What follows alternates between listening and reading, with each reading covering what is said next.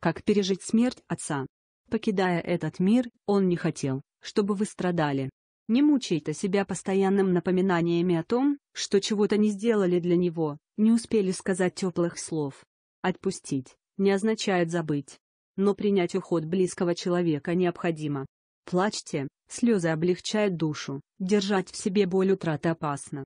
Можно и нужно делиться своими переживаниями с близкими, стоит сходить на прием к психологу. Главное, не замыкаться в себе. Ни в коем случае не отказывайтесь от пищи, даже если аппетита нет. Постарайтесь высыпаться, если бессонница не отпускает, примите природные успокоительные.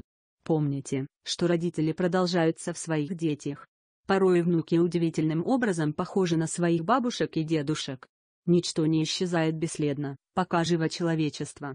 Помогайте тем, кому тяжелее. Рядом есть люди, которые остро нуждаются в заботе, не отвергайте их, дарите свое тепло. И скоро боль утраты утихнет, появятся силы жить дальше.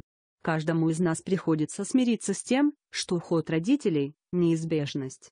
Это знание помогает прожить отпущенный нам срок ярко, не предаваясь бесконечной печали, которая еще никому не помогла справиться с горем.